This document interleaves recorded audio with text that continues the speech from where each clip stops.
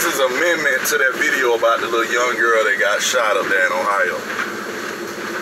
Well, if you go down my uh, Maurice Lovell Wilson page on Facebook, which I think I'm gonna share it too on all, across all my pages.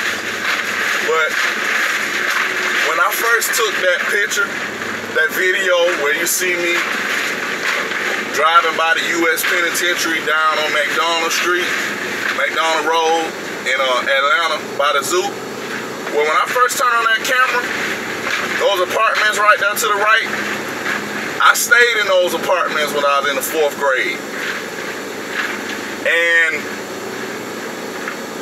I think we only stayed there for like a month because they had mice and rats. They was shitting all in my mom's pot. She was throwing them away.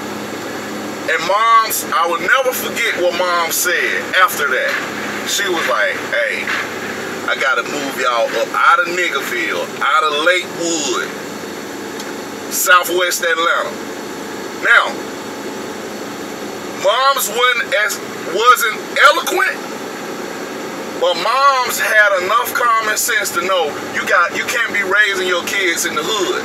So guess what she did? She moved up down to Clayton County, which at that particular time, fourth or fifth grade, it was probably in the 80s. Clay County was nice as hell. Now it's not like that now. It's become Niggerville, as moms quoted.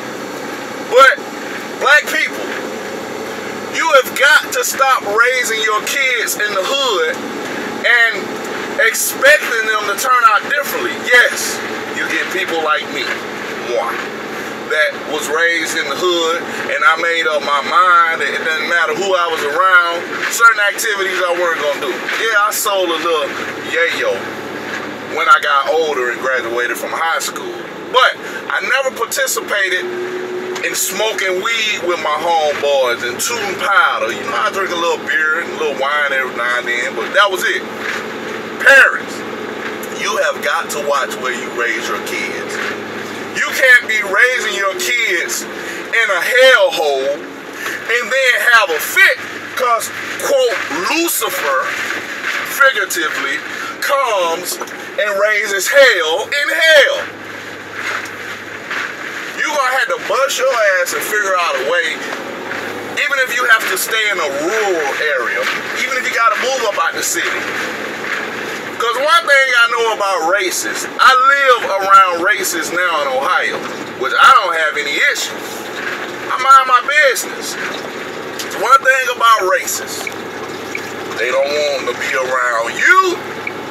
And guess what? I ain't trying to fit in with your monkey ass.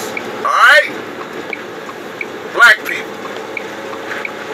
Watch where you raise your goddamn kids, alright? Don't be making excuses when they become victims of hell, of their environment.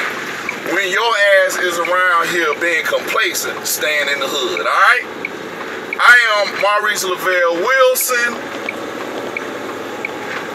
aka the MGTOW Reese, aka the Master of Blue Pill Disaster, aka the MGTOW Poet, and lastly, aka MGTOW Guy with a Life. I know a lot of you motherfuckers ain't gonna like this shit, but this red pill message is for you, and I don't give a damn about your feelings.